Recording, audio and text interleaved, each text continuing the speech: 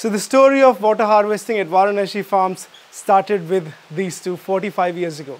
When my mother was getting married to my father, she was being told by her family that not to get married to him because there is no water in this land. But my father took it as a challenge and dug all these water harvesting channels over the decades. Now we have plenty water to last through the summer, even in the toughest of droughts. Water is essential for farming. It is required in plant growth, photosynthesis, and also nutrient uptake. Even though we have a lot of rainfall, by the time summer comes, all the water drains out unless we do water harvesting. In this episode, we're going to show you how we did water harvesting in 10 layers at Varanashi Organic Farms.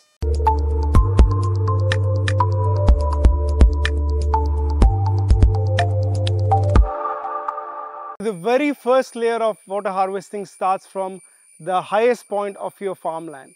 It could be in the border of your farm wherein you uh, dig a lot of trenches like this. It could be three feet wide and up to eight feet deep trenches wherein the water gets trapped and all the channel comes into that water and the water gets trapped and percolates underground.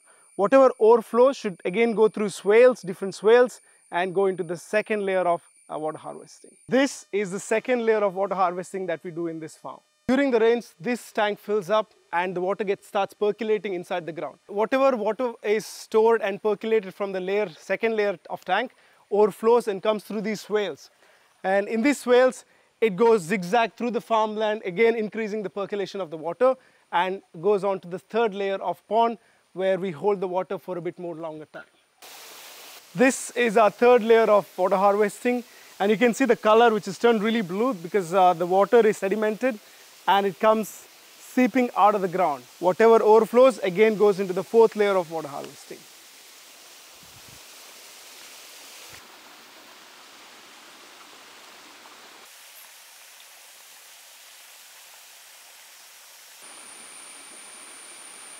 What you see here is the fourth layer of water harvesting. Comes through the channels, percolates, and then goes down to the fifth layer of water harvesting. Water harvesting layer 5. This pond is situated right in the middle and also it's a home for turtles. And you can see in the background uh, the percolated water from level 4 of water harvesting oozing out of the ground and joining here into this pond. Here is the sixth layer of water harvesting, but here is something really interesting. What you see over here is a borewell and we are making sure that all the water which is seeping out of here gets stored around the borewell so that the borewell gets recharged. Interesting thing about this borewell, it's only 150 feet deep and it was a it's a very old borewell. We uh, dug it 30 years ago. Unfortunately, this borewell didn't yield any water. But after 10 years of successful recharging, now we harvest up to 2 to 3 inches of water every year for 2 to 3 months. So borewell recharging really works. The seventh layer is right in the middle of the farm.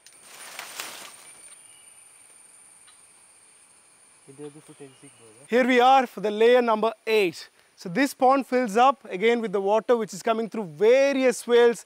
I think about 15 different swales come and join over here which has gone through the farmland and water percolates here. Whatever overflows from here again goes to final two layers of swales and then again gets captured into two different places which we're going to go and see. The water harvesting st uh, structure layer number 9 is right here. It is slightly different from the other water harvesting structures. We have put cement rings in here so that um, we used to have a problem of the, the mud sliding into this. So to reduce that, reduce erosion, we have created a ring-like structure. These kind of structures are also used in farms for water harvesting methods. This is the 10th layer of water harvesting and the final one and it is right in the border of our farm. Uh, the border is literally few meters from here and this is also in the lowest altitude. If the highest altitude in our farm is about 110 meters, this level, uh, this layer is at um, 68 meters from sea level. So there is a good 40 meters difference and uh, whatever water collected in here will stay in here until the end of April, which is almost uh, the mid, midway of the summer. And we also pump this water back into the topmost, which is the layer two um, of water harvesting so that the water also recycles inside the farm using the solar energy. Between the layers of all these water harvesting structures, we have to have lots these swales which will make the running water crawl, to crawling water to stop and to stop water to seep into the ground and make sure it touches maximum surface area inside your farm.